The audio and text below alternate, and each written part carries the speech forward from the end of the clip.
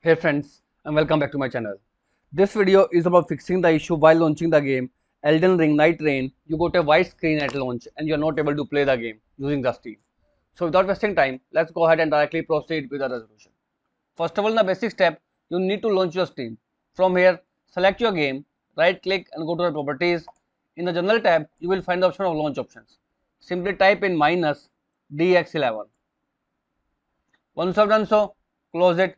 Now go ahead and try to launch the game. If this failed to work out, in next step, first of all, head over to this PC, C drive, Windows folder and open a folder with the name System32.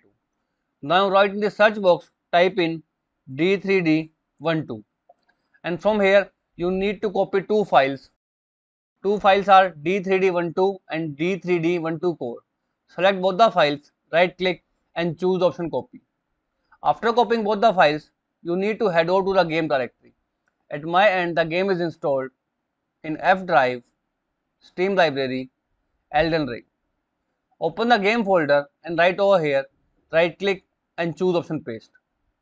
After pasting these two files, press F2 key onto D3D12 file and give it a name D3D12 underscore original.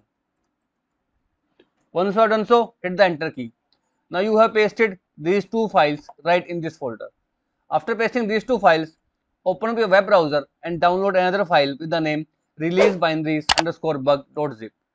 Download this zip file into a system and save it into a PC. Once it is saved, open the zip folder and copy these four files again. After copying the four files, again open the game directory and paste these four files right over here. Once pasted these four files, go ahead and relaunch the game and the issue of white screen at launch while playing the game Elden Ring Nightreign will be completely fixed. So this is all about it friends. If this video works out for you, I request you to please click on subscribe button and turn on the bell notification icon to continue receiving updates from my channel. Thank you so much friends. Thank you for watching.